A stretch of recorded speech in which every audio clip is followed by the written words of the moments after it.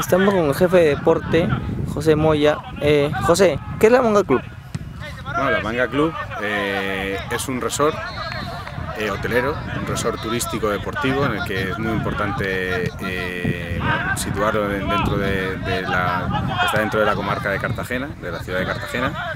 Y bueno, básicamente lo que tenemos aquí en este complejo son dos hoteles, uno de cuatro y otro de cinco estrellas y estamos muy volcados con el tema del deporte, eh, porque hay tres campos de gol de 18 hoyos, hay 28 pistas de tenis y hay ocho campos de fútbol, que es el motivo por, el que Alianza ha venido a, realizar su pretemporada aquí. Estamos muy volcados con el tema del fútbol, recibiendo al año unos 80 equipos profesionales de fútbol que hacen aquí su pretemporada, unos stats de invierno, etcétera, etcétera.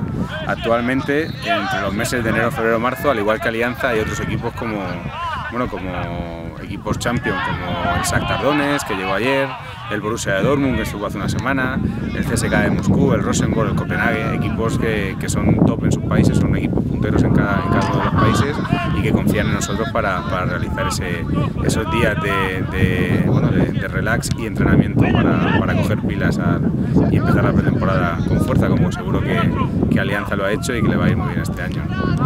¿Qué, ¿Qué, te parece que Alianza Lima esté haciendo acá su pretemporada? ¿Que, que haya elegido este lugar? Pues para nosotros es eh, un orgullo que ser el sudamericano que viene, que viene a España, bueno, que viene a la manga club a hacer su, su, pretemporada.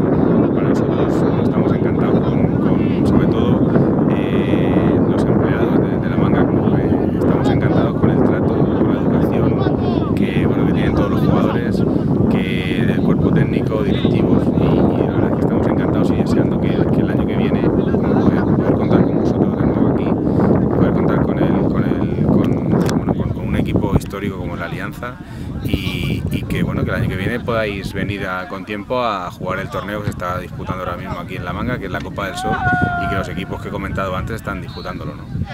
Muy bien, José, gracias.